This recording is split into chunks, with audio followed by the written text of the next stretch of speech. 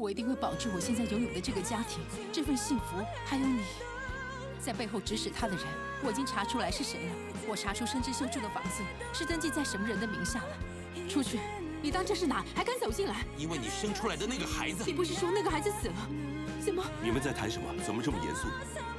表示他的孩子才刚生下来没有多久吗？你说什么？你连这个都说了？这件事从今以后绝对不能再提起。我老公说要给您钱是吗？到底什么事？为什么会少一亿？你一亿花去哪了？快说！女王之花，周一至周五晚间八点到十点，未来戏剧台。